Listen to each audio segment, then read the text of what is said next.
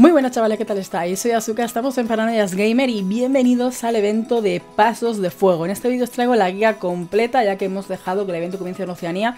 Sobre todo, más que para ver misiones e investigaciones y tal, que está muy guay, para ver el tema de los huevos. Porque sí, dentro de que es un evento que siempre toca alguno cada X periodo de tiempo dedicado a huevos, con lo que ello conlleva, entre otras cosas, ya no por el tema de incubadoras, sino porque tienen manía ahora de los eventos de huevos como este no meter spawn. Y claro, se nota mucho. Pero aún así, dentro de lo que es este evento, sí que he querido esperar un poco para ver el tema de la probabilidad, rareza, etcétera.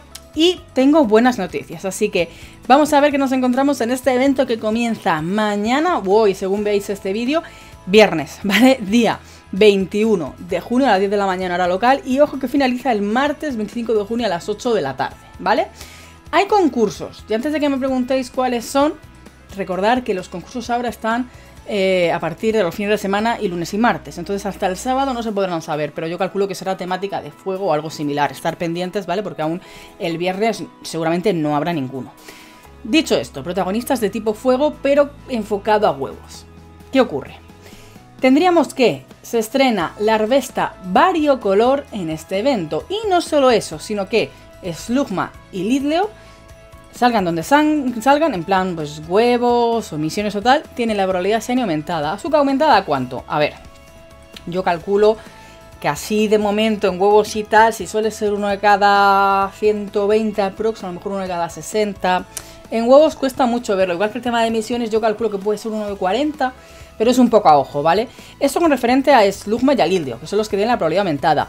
La Ardesta, aunque es estreno Shiny, no tiene probabilidad aumentada. Pero la buena noticia es que sale bastante. De hecho, vamos a hablar primero de la probabilidad del tema de los huevos, ¿vale? A ver, los huevos especiales que tendremos durante este evento de Pasos de Fuego serían los huevos de 2, 5 y 10. No es como cuando estamos acostumbrados a los huevos de eventos son los de 7 kilómetros, aquí no. Aquí tendremos que tirar de los de pokeparadas. Y la primera buena noticia es que normalmente los huevos de 2 eh, salen con más posibilidad, luego los de 5 y por último los de 10 kilómetros, ¿verdad? Vale, pues por lo que se ha visto en este evento y si no tocan nada, tenéis la misma posibilidad de que las pokeparadas os den huevos de 2, de 5 y de 10 en este evento. Y esto es bueno. ¿Por qué? Porque os enseño la rareza que van a tener los huevos de 2, 5 y 10 en este evento, ¿vale? Tendríamos de 2 kilómetros eh, Growly, Slugma, Magby, Baby y Homedoor en huevos de 2 kilómetros. Y con rareza 3 tendremos aquí a la polilla, a la arbesta, y diréis, Juli, pero es, es más difícil. No es tan difícil como de normal. De normal tiene una rareza de 5 huevos, mucho más difícil. Aquí sí que es verdad que veremos más a Magby, Sluzma, eh, Jundouro, Growly, pero no es tan difícil ver a la Arbesta, ¿eh? Ya que salga Shiny o no, bueno, es otra cosa. Pero recordemos que Volcarona es muy buen Pokémon, ahora veremos para qué nos puede servir y el tenerlo aquí a mano viene muy bien. Luego en huevos de 5 kilómetros nos saldrían Growly, pero el de Hisui, eh, Darumaka el de Fuego, tendríamos a Lidio que tiene la probabilidad Shiny aumentada y Lidwit. Y en rareza 3, igual que ocurre en los huevos de 2 kilómetros, tendríamos a la Arbesta.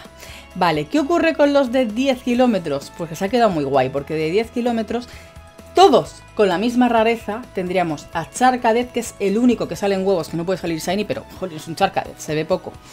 Turtonator y Larvesta. Los tres con rareza 1, o sea, los huevos de 10 triunfamos, triunfamos porque tenemos a Larvesta muy a mano. Que sí, que 2 y de 5 se abren antes, el Ildeon 1, Slugma en otro, probabilidad ser aumentada, pero si vamos por Larvesta con los de 10 podemos triunfar bastante, ¿vale? Porque tienen solamente tres Pokémon y la rareza iguales para ambos, así que es nuestra posibilidad. Y como ya he comentado, el hecho de que los huevos de 2, 5 y 10 salgan por igual con la misma probabilidad de Poképaradas en este evento, la verdad que es muy buena noticia. En cuanto a contenido de huevos y tal, contenta, yo contenta con la rareza. ¿Qué más nos encontramos eh, en este evento de Pasos de Fuego? Vale, tendríamos lo que son, son misiones de campo. Y antes que me preguntéis, ¿azúcar los eh, huevos entonces de 7 kilómetros de regalo no cambian? No, tenéis un huevo de lo que sale en huevos de toda la temporada y los de 7 continúan igual, los extraños continúan igual. Lo que cambia son 2, 5 y 10. El spawn no cambia, es decir, tenemos el spawn normal de esta temporada y ya pasamos, como digo, a misiones de campo. En este caso, en misiones de campo, evidentemente es un evento dedicado a huevos, o sea que nos va a hacer abrir huevos, ¿vale? Pero, así, a ojo, tendríamos explorar 3 kilómetros esta os puede dar tanto a Lidio como a Slugma. Como digo, ambos tienen la probabilidad de aumentada tanto en huevos como también en misiones de campo, así que ni tan mal. Eclosionar un huevo Slugma, eclosionar dos huevos Lidleo y eclosionar tres huevos Turtonator. Vale. Tutonator ha sido exclusivo de Raid durante yo creo que los últimos meses y bueno, hace ya las últimas temporadas lo hemos visto en huevos y aquí nos lo ha metido en misiones de campo. Bienvenido sea porque es un Pokémon que no vemos en Spawn, a no ser que es un evento muy raro tipo Fesotour. Luego tendríamos eh, en cuanto a tema de bonus, aparte del debut Shiny de Volcarona, mitad de distancia de eclosión de huevos. Ok. Doble de caramelos por eclosión. Esto viene muy bien sobre todo para la Arbesta, porque es un Pokémon que vemos muy poco y, tener el doble caramelo en apertura viene genial. También para Charcadet, que están huevos de 10. Cuarto de distancia para eclosión de huevos en los primeros tres huevos que se pongan a incubar usando el widget. Vale, os dejo por aquí un mini vídeo. Lo he grabado con mi, con mi iPhone, pero para Android es igual. Es pantalla de inicio de vuestro móvil, añadir widget Pokémon Go y seleccionáis el primero que suele ser el de huevos. Una vez lo tengáis en la pantalla de inicio, clicáis, os llevará directamente cuando se abra el juego a los huevos y ahí los ponéis a incubar en, lo que dura el evento. Es decir, tenéis que esperar a hacer esto cuando sea ya viernes, día 21, 10 de la mañana, hora local, ¿vale? Y se supone que en vez de la mitad, que es lo normal en este evento, se os quedaría a un cuarto.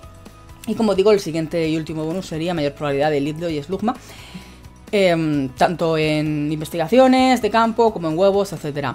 Tendríamos una investigación temporal gratuita en este evento también, que sería eclosionar un huevo slugma, eclosionar dos lidleo, eclosionar tres slugma, eclosionar cuatro lidleo, eclosionar cinco slugma y 2000 de experiencia, 1500 de polvo estelar y encuentro con Tortunator. Azúcar, es que hay que abrir cinco huevos.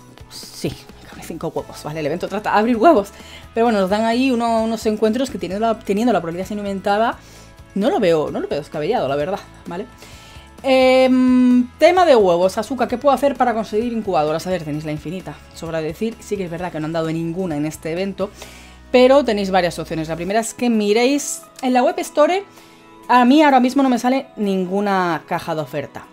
Y en el juego de Pokémon Go dentro de la tienda, aquí las ofertas varían según cada entrenador, según cada cuenta. Pero por ejemplo, yo tengo una que es el pack de viajes, ¿vale? Que bueno, por 1700, creo, 1730 Pokémonedas, 8 super incubadoras, 2 incubadoras normales. ¡eh! Si queréis aprovechar este, este tipo de eventos, está bastante bien, ¿vale? Teniendo en cuenta que tenéis 3 de cada luego para gastar, es muy buena oportunidad, ya digo, para los que tienen la probabilidad de aumentada, para Charcadet, ¿por qué no? Con el tema del bonus de caramelos y tal, también viene muy bien. Y sobre todo para la Arbesta sobre todo para la Arbesta porque tiene una rareza muy buena en 2 y en 5 y maravillosa en huevos de 10 saliendo solo con 3 Pokémon más. Pero ¿para qué queremos realmente a un buen Volcarona aparte de conseguir el Shiny? Para PvP Volcarona no es nada del otro mundo, quizás por las estadísticas que pueda tener, ¿vale? Pero en cuanto a Pokémon de tipo fuego, o sea, para lo que lo queremos es para raids o gimnasios para hacer daño, no se sitúa en un mal puesto. Teniendo en cuenta que no es un Pokémon ni legendario, ni oscuro, ni historias, estará en un ranking 19 por debajo, evidentemente, de Mega um, Houndour, Mega Charizard, Mega Blaziken, oscuros como Ho, Infernate, Typhlosion, que ahora lo nombraré también, y legendarios como Blacéfalo, Hidran y compañía. O sea, para ser un Pokémon normal, que sí que es complicado de sacar y conseguir caramelos, pero en este evento nos lo ponen bastante fácil, es un Pokémon que podemos utilizar guay para hacer mucho daño con Pokémon tipo fuego. Además, yo añadiría que dentro de este evento, recuerdo que el sábado, día 22, es el Community de Clásico de Cinda, que no es casualidad. Estamos en un evento que, aunque va enfocado en huevos, em, los protagonistas son tipo fuego, así que tenéis la guía de Kill, que por cierto es un tipo sin oscuro, sería un ranking 18, uno por encima de Volcarona en cuanto a mejores atacantes de tipo fuego. ¿Vale?